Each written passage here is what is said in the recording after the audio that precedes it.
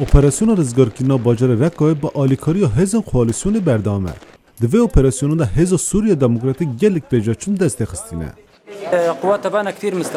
Hêzên me cihên xwe gelek baş girtine û em pêş ve diçin. Moralên DAIŞ şikestîne. Ew tenê rokêtan davên, hêza wan nemaye û kêfa wan jî pir kêm bûye. Hêza me YPG û HSD amade ye şer bike.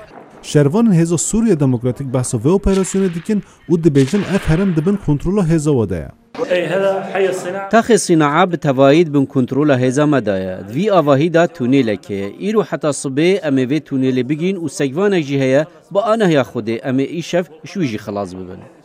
Çapemeniya Hêza Sûriya Demokratîk ragihand ku nêzî hezar şervanên wan Li Rojhilat û Rojavayê Rekoyê dest pê operasyonê kirîne.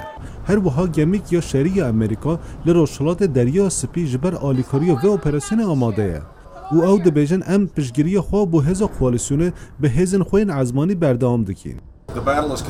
Şerê li Mûsilê tê dawiyê, di nerîna min de ew ye ku wê zor be ji ber kolanê bajêr teng in û sivîl tê de dijîn. Her wiha jî ev yek li bajarê Reqqa heye û em bi hêzê ezmanî piştgiriyê didin hêza hevpeymaniyê.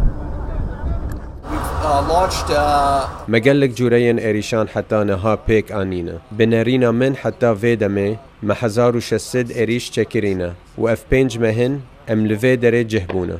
Qasê ku ve demek ne dirêje Operasyona Rizgarkirina Reqqayê dest pê kiriye, Hêza Sûriya Demokratîk vî demê Kurd de gelek pêşveçûn destê xistîne. Lê hîn ne diyar e ev operasyon yê bi tevahî çiqas dem bistîne. Aram Acar, Dengê Amerîka.